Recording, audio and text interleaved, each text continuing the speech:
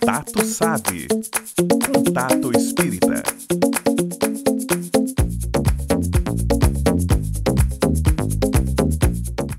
Olá, amigos da TV Mundo Maior e Rádio Boa Nova.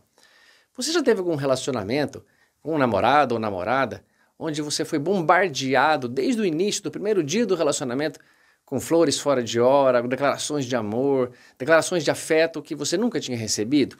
Aparentemente isso é muito gostoso, muito agradável, mas alguns psicólogos estão chamando atenção para um comprometimento nesse relacionamento. É até dado um nome, love bombing. Love bombing seria, na tradução, bombardeio de amor. Aquela pessoa que elogia demais, que manda flores fora de hora, que te coloca num pedestal que você nunca esteve. Isso é um problema porque esse, na verdade, é um comportamento narcisista, onde essas pessoas que colocam essas qualidades, essas características, esse comportamento com você, projetam você como uma pessoa que não tem nenhum defeito e que vai suprir todas as necessidades daquela pessoa. Essa pessoa muitas vezes quer ser vista como alguém que tem pensamentos de superioridade, um comportamento de dedicação total no relacionamento, mas que a curto prazo, ou pelo menos até médio prazo, vai vir grandes cobranças e a relação vai ficar deteriorada. É muito complicado quando nós temos esse comportamento exagerado, tanto para o desprezo quanto para o excesso do elogio. O próprio filósofo Aristóteles nos chama a atenção para que as virtudes, a verdadeira virtude, é um ponto de equilíbrio num comportamento, sem excesso e sem falta, sem defeito. E que se você percebe alguém agindo assim com você, na verdade, ela está querendo projetar a imagem de uma pessoa muito amorosa, muito atenciosa, uma pessoa especial para o seu relacionamento.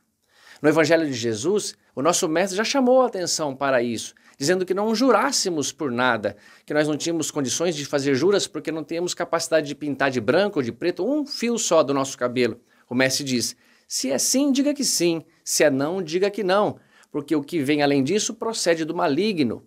Veja a importância que Jesus dá para o relacionamento carinhoso, afetivo, mas sem exageros.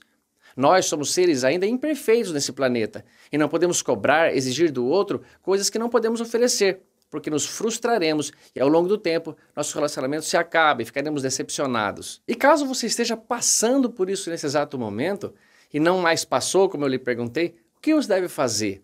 É claro que você deve conversar, explicar e expor essa posição que você não é uma pessoa perfeita e que precisa do seu tempo, que você não é capaz de retribuir o pensamento para alguém 24 horas do seu dia. Você tem trabalho, você tem seu descanso, você, você tem seu momento com você mesma.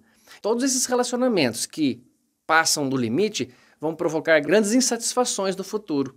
Cuidado com esse relacionamento, nem que você esteja praticando com alguém e nem permita que alguém pratique com você.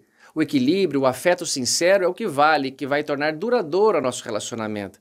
Tudo isso é para tornar nossa vida melhor, sabermos nos comportar corretamente e entender que somos imperfeitos e devemos buscar a perfeição a cada dia, mas sem colocar no outro algo que ele ainda não pode oferecer e no futuro cobrar, deixando ele decepcionado por ser frustrado e não lhe atender. Pense nisso, haja melhor e tenha um relacionamento feliz. É o que eu desejo a todos nós e principalmente a você. Que Jesus te abençoe. Fique com Deus.